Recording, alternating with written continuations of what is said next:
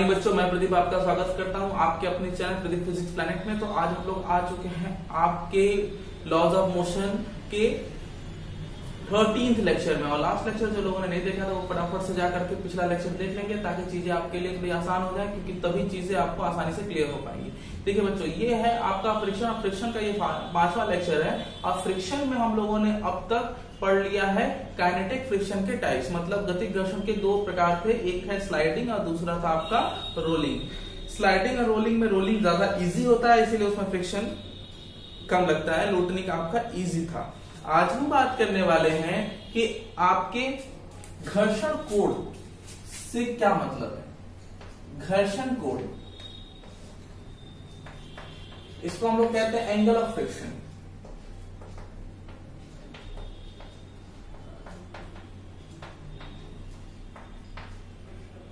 angle of friction इसको समझने की कोशिश करते हैं।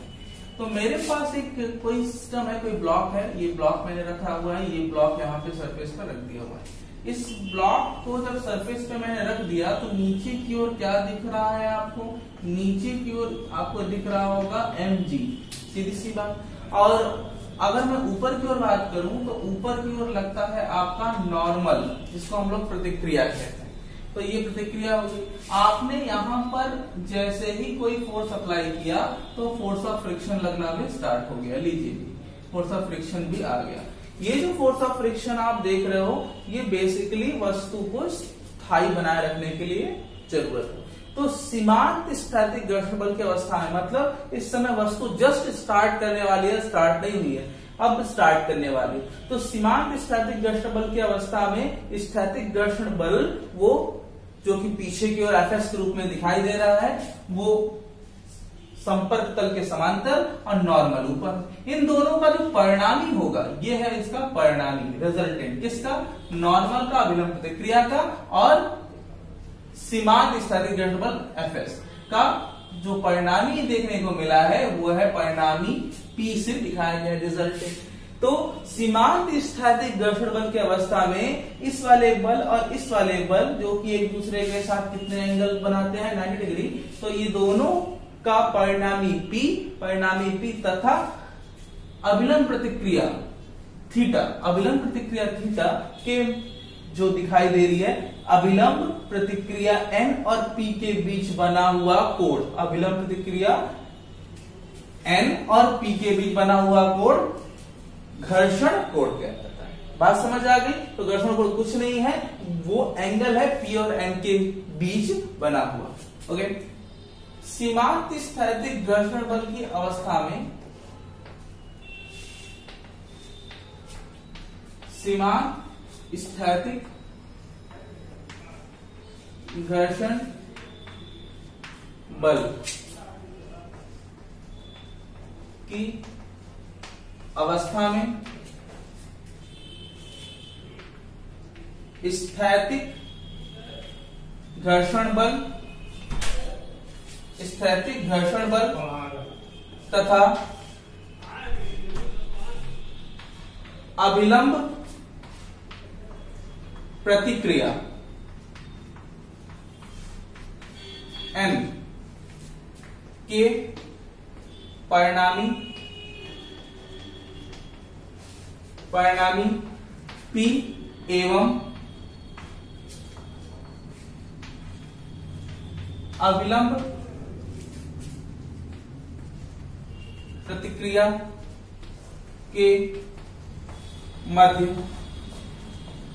बना कोण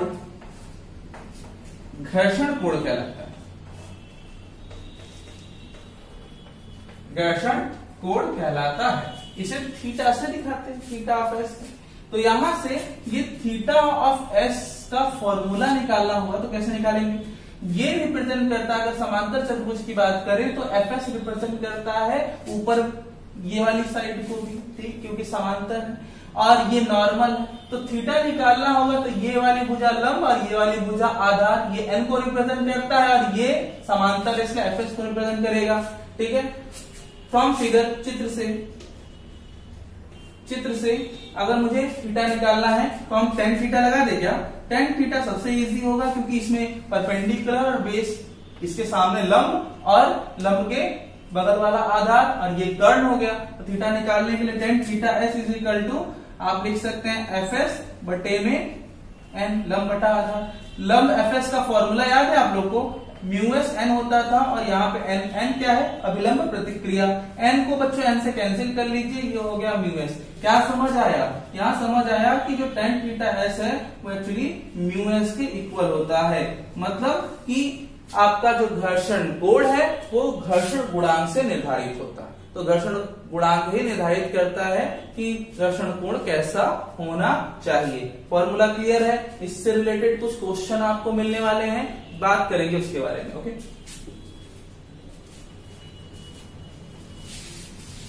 नेक्स्ट है आपका विराम कोण।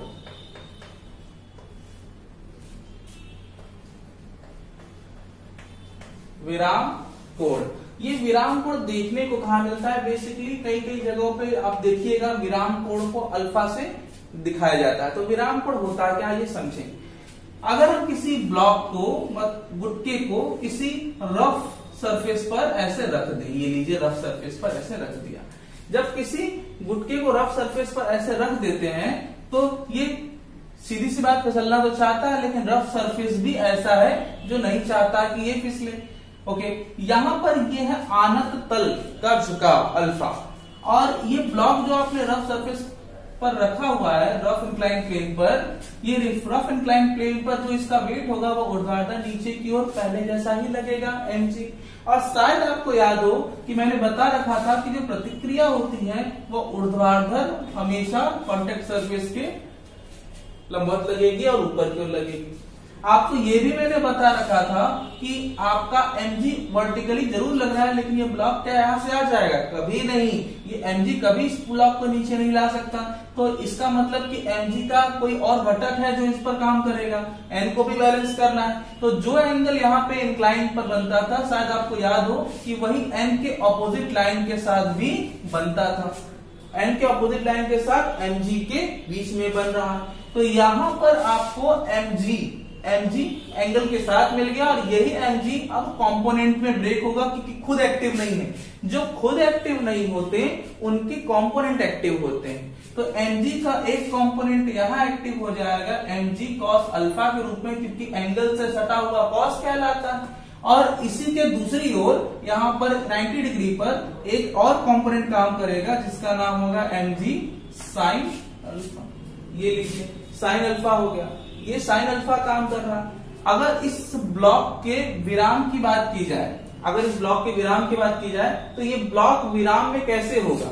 जब जब इस पर लगने वाला घर्षण बल इसको बैलेंस कर लेगा, तभी तभी ये पॉसिबली रेस्ट में आ सकता है। ओके बढ़िया। तो आइए चेक करते हैं कि कौन किसको बैलेंस और कैसे करेगा। अगर ये सिस्टम इसको लेके नीचे जाना चाहता है तो घर्षण बल घर्षण बल की दिशा कहाँ होनी चाहिए? घर्षण बल की दिशा इसके ऑपोजिट ऊपर की ओर होनी चाहिए। अगर ये ब्लॉक नीचे की ओर जी साइन अल्फ़ा ऑब्ज़र्व कर रहा है तो घर्षण बल की दिशा कहा होनी चाहिए? ऊपर की ओर होनी चाहिए, क्योंकि गति के विपरीत दिशा में आपको याद होगा। तो यहाँ पर किसी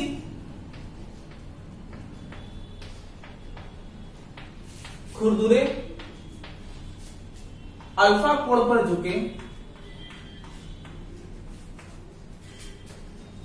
झुके आनत तल पर कोई एम दरमान का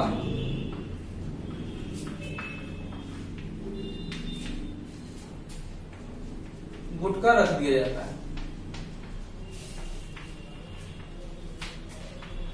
जाता है। जहाँ संतुलन की स्थिति में, संतुलन की स्थिति में गुटके पर भिन्न भिन्न बल एवं घर्षण बल कार्य करते हैं। कार्य करता है। अतः अच्छा अतः, क्या देखा जाए? कौन किसको बैलेंस कर रहा है? अगर ये वस्तु मूव नहीं कर रही है तो ये इसको पूरी तरीके से बैलेंस कर लेना चाहिए, करेगा भी। और एन को कौन बैलेंस करेगा? एम जी अल्फ़ा अच्छा तो यहाँ पे आप लिखेंगे एन जो बैलेंस कर रहा है किसको? एम जी कॉस अल्फ़ा को ठीक? एन बैलेंस हो गया। यहाँ पे समीकरण एक लिख सकते हैं, ठीक है? तथा और क्या लिख सकते हैं? यहाँ पर एफ़ एस एफ़ एस किसको बैलेंस कर रहा है? एन जी साइन अल्फ़ा को अगर ना लगता है एफ़ एस तो ये तो फिसल के नीचे आ जाता यहाँ से हम क्या कर सकते हैं? हम दो को एक से डिवाइड कर देते हैं, दो को एक से डिवाइड कर देने पर, ठीक है? क्या होगा? आपका इसको इससे डिवाइड करेंगे तो एफ़ एस अपॉन एन और यहाँ पर आपका m g m g cut जाएगा और आएगा sine alpha upon cos alpha ये हो जाएगा tan alpha is equal to इसको आप लिख सकते हैं म्यू एस और साथ में एन अपॉन में क्या लिख सकते हैं? एन ये कैंसिल हुआ तो यहाँ से आप इसको लिख सकते हैं tan alpha is equal to mu S बात समझिएगा, ये भी सीमांत स्थैतिक दृढ़ बल को ही बताता है। जहाँ पे अल्फ़ा, ये वो आनत तल का झुकाव है जिस पर ब्लॉक गति नहीं करता। तो याद रखिएगा, यहाँ पर क्या लिख सकते हैं? इसके बाद जहाँ अल्फ़ा अल्फ़ा गुटके